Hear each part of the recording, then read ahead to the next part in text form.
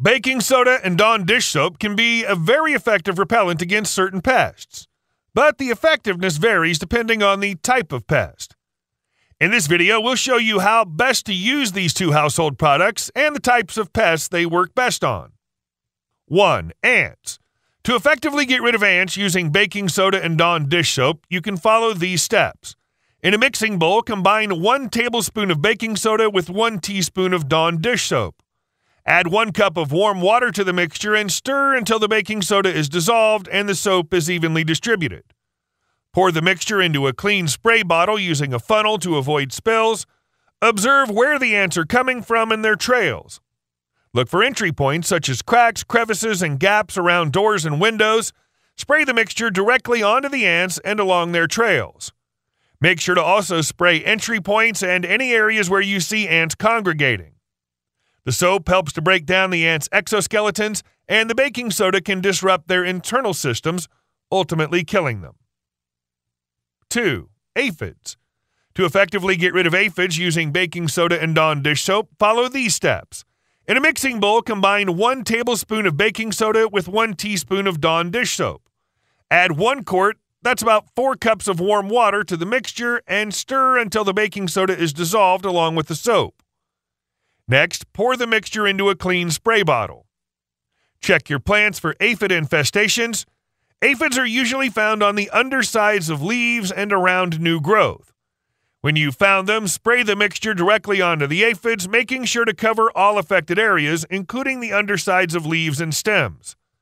Ensure thorough coverage since aphids can hide in crevices and tight spots on the plants, Baking soda's abrasive nature will wear down the outer shell of the bug and kill them eventually, while soap washes off a protective coating on the insect's body, causing it to dry out. Spray the solution every 4 to 7 days until the aphids are gone. This helps to kill any new aphids that hatch and prevents a reinfestation.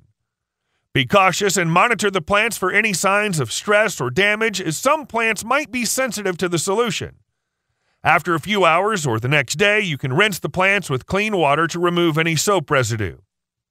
This is especially important if you're applying the solution repeatedly or if the plants show signs of stress. Encourage beneficial insects like ladybugs and lacewings, which naturally prey on aphids. Also, maintain plant health through proper watering, pruning, and fertilization to make them less susceptible to pests. 3. Wasps. To effectively get rid of wasps using baking soda and Dawn dish soap, follow these steps. In a mixing bowl, combine 2 tablespoons of baking soda with 2 tablespoons of Dawn dish soap. Then add 2 cups of warm water to the mixture and stir until everything is dissolved. Transfer this mixture to a spray bottle. Next, identify where the wasps are most active and, if possible, locate their nest. Wasps are usually more active during the day, so the best time to approach the nest is early in the morning or late in the evening when they're less active. Carefully and cautiously approach the wasps or their nest. Spray the solution directly onto the wasps. This soap disrupts their respiratory systems while the baking soda may act as a mild abrasive. If you're targeting a nest, thoroughly soak it with the mixture. Ensure you have an escape route in case the wasps become aggressive. If there are still active wasps after the first application, repeat the spraying process the next day. Consistent applications may be necessary to fully eliminate the wasps. Once you're sure the wasps are dead, you can remove the nest. Use a long stick or tool to knock down the nest and dispose of it in a sealed plastic bag. A few safety tips include wearing long sleeves, pants, gloves, and if possible, a face mask or bee veil to protect yourself from stings. Have an escape plan and be prepared to retreat quickly if the wasps become aggressive. Make sure your pets and children are at a safe distance during the application. By following these steps, you can effectively use a mixture of baking soda and Dawn dish soap to get rid of wasps safely and efficiently. 4. Cockroaches. To kill cockroaches, it's best to use baking soda and Dawn dish soap separately. Dawn soap and water is a safe, reliable, and inexpensive method to get rid of roaches. Create a soapy water solution that you can spray with a bottle. It'll only take about two to three sprays to kill any roaches, as the soapy solution will cover their breathing pores and suffocate them. To kill roaches with baking soda, you should begin by filling a small container with water and another bowl with equal parts baking soda and sugar. Then you place both of these close to the location where roaches are hanging out and wait for it to work its magic. Once roaches consume the mixture along with water, it'll kill them from the inside out. This is an affordable and easy home remedy to try out and see cockroaches begin to drop one by one. 5. Fleas. To effectively get rid of fleas using baking soda and Dawn dish soap, you can use a combination of bathing your pets, treating your home, and vacuuming thoroughly. Here's a step by step guide Fill a bathtub or a large basin with warm water, then add a few drops of Dawn dish soap to the water. Next, wet your pet thoroughly with the soapy water. Apply a small amount of Dawn dish soap directly onto your pet's fur, focusing on areas where fleas are most common, such as around the neck, behind the ears, and near the tail. Gently massage the soap into your pet's fur, creating a lather. Be careful to avoid getting soap in their eyes, ears, and mouth. Let the soap sit for about five minutes. Dawn dish soap kills fleas by breaking down their exoskeletons. Finally, rinse your pet thoroughly with clean water to remove all the soap. Dry your pet with a towel and use a flea comb to remove any dead fleas. For a home treatment, sprinkle baking soda liberally on carpets, rugs, and upholstered furniture. Use a brush or broom to work the baking soda into the fabric. This helps to dehydrate and kill fleas and their eggs. After allowing the baking soda to sit for a few hours or overnight for best results, vacuum the treated areas thoroughly.